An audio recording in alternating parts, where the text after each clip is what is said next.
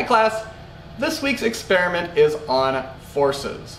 Now you may not have yet seen forces in the lecture course, but I don't believe that that will prevent you from performing this week's experiment. I'm going to spend a little bit of time talking about forces before we discuss the experiment so I can get everyone up to speed. Now force is any push or pull, and we'll be working with just three forces this week. Gravity, the spring force, and the tension force. Now, unless you've been deep in outer space, you've always experienced gravity, and so it may be the most intuitive force to you. It is always pulling you down, and it pulls other objects down as well. So anything with mass is subject to gravity. And the fact that it pulls things down is what I most want you to know about it. It's always going to act down towards the center of the Earth and never with any component side to side. Now the second force to consider is the spring force. We won't be working directly with the spring force this week, but I would like you to see that inside these lab scales that you're provided is a little spring. When I pull down on the bottom, the spring begins to stretch, and then you can look at where the plunger is and read the number off the side to get a force reading.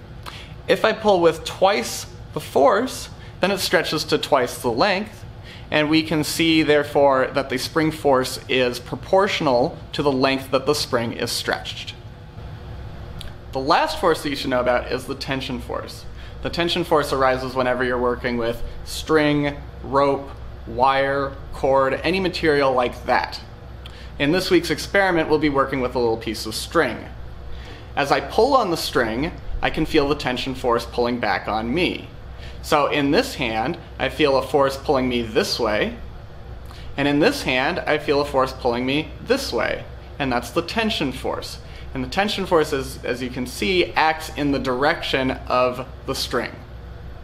Uh, if I were to hang a mass from the string, like so, the tension force is what's holding it up against the force of gravity. But what makes this tension force a little bit special as compared to gravity or the spring force is that it can be redirected by means of these pulleys that we'll be working with. So if I take the mass and I hang it from the pulley like so, the mass still feels the tension force upwards, and my hand over here feels the tension force towards the pulley. Two final things I'd like you to remember about forces are that force is a vector, and that means it has both a magnitude and a direction and forces can cancel with one another to put an object in equilibrium. Here, for example, is the gravitational force canceling with the spring force. Here is the gravitational force canceling with the tension force. And finally, here is the tension force canceling with the spring force. In all three cases, we don't see any motion in the objects involved because they're in equilibrium. Now let's talk about the experiment. The experiment will consist of three parts, and the first part is subdivided into four pieces. Before we begin, you're going to need to cut some lengths of string, and you'll be provided with some string and scissors. Cut three short lengths of string, about this long, and it should be able to roughly span the distance between the two pulleys. The fourth length of string will be much longer, and it should be able to comfortably drape over the pulleys with a little of extra room to tie some knots in the ends. With your shorter strings, in one of them, put a loop in one end and leave the other end free. In the two other short strings, put loops in both ends.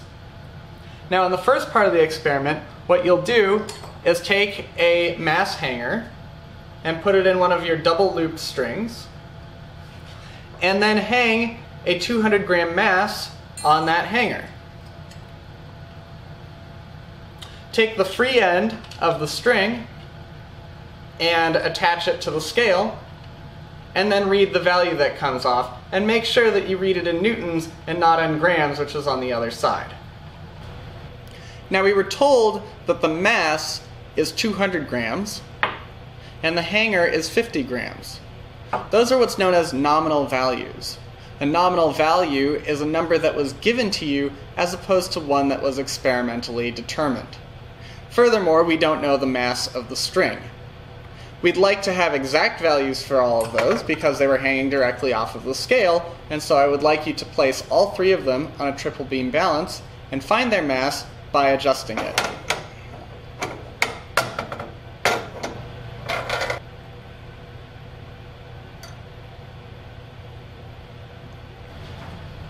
Now take the same mass, hanger, and string and attach them to your scale and drape the other end over the pulley and take a reading again in newtons. For the next part, you'll take your string that has one free end and tie the free end around the looped end of the scale. Then take the remaining end and drape it over the other pulley. Get an identical mass and 50 gram hanger and place it on the free end of the pulley. Trying not to disturb the measurement too much, take a reading off of the scale. To complete the first part of the experiment, we'll be using two scales and the longer length of string. Tie an end of the string around each scale, as shown, and then drape the string over the two pulleys. Next, using the two strings that each had two loops in them, attach the hangers and masses to either end of the setup.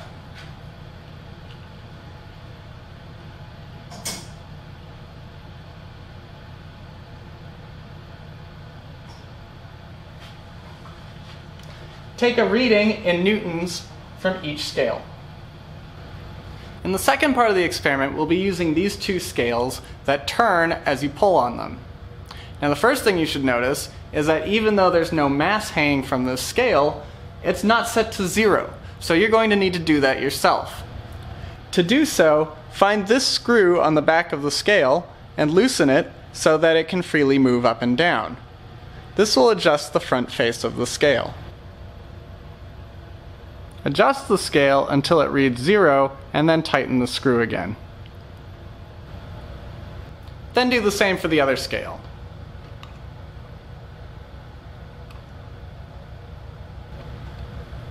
We should also make sure that the angles that we're reading are accurate.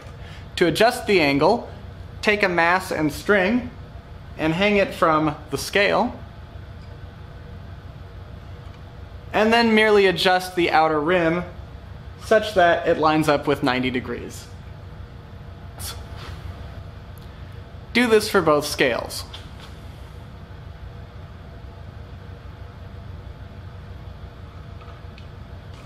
Now cut a piece of string to approximately this length, enough to go from one support all the way to the other.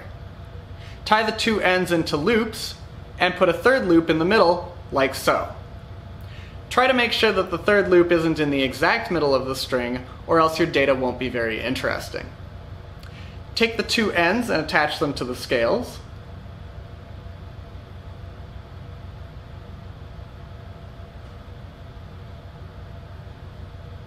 and then take the 500 gram mass and attach it to the middle loop.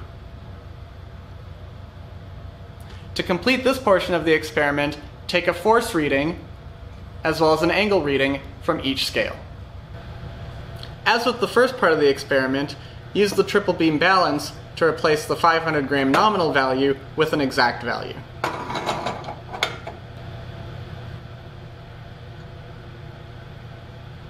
Third and last part of the experiment, cut a length of string that can drape across both pulleys with plenty of extra length to spare. Tie both ends into loops so that you have a place to hang the masses.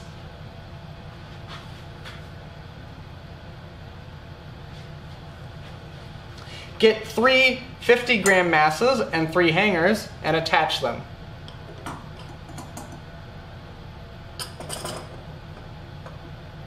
Take two of your 50 gram hangers and attach them to either end of the string.